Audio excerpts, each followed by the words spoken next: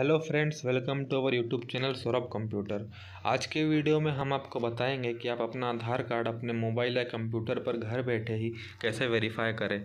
आधार verify मतलब आपके Aadhaar card में कौन सा मोबाइल नंबर लिंक है, आपके आधार कार्ड की एज बैंड क्या है, आपका आधार कार्ड किस स्टेट का है, ये सारी जानकारी आप घर बैठे ही अपने कंप्यूटर स्क्रीन या मोबाइल स्क्रीन पर बहुत ही आसानी से देख सकते हैं।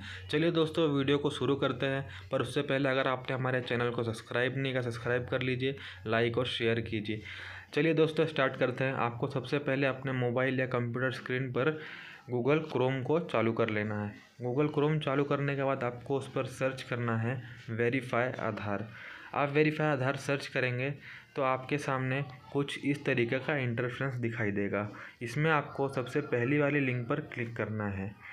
आप सबसे पहली वाली लिंक पर क्लिक करेंगे तो आपको आधार कार्ड की बहुत सारी सर्विस देखने को मिलेगी।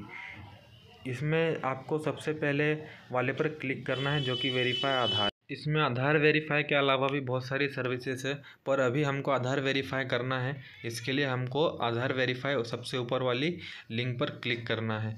इस पर क्लिक करेंगे तो आपको देखने को मिलेगा कि आपको इसमें आधार नंबर और कैप्चा कोड मांग रहा है। आप अपना इसमें आधार नंबर सही तरीके से डाल देंगे।